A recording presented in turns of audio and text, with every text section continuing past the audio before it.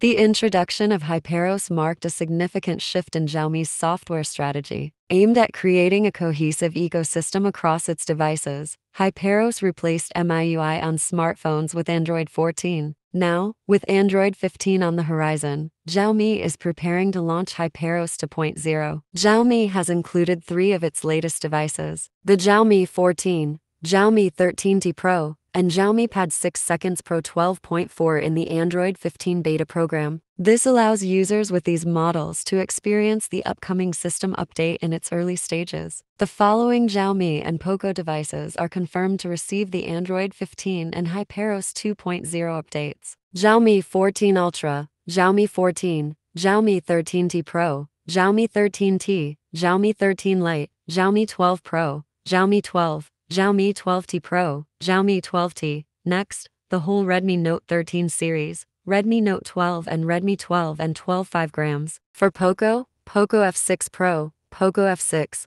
Poco X6 Pro, Poco X6 and Poco M6 Pro 5 grams will taste the new update. Based on historical trends, the update rollout is likely to commence sometime between September and October. Following a typical release pattern, newer and premium devices will receive the update first, with older models following suit in the subsequent months. Thanks for watching. Do subscribe to us for more updates.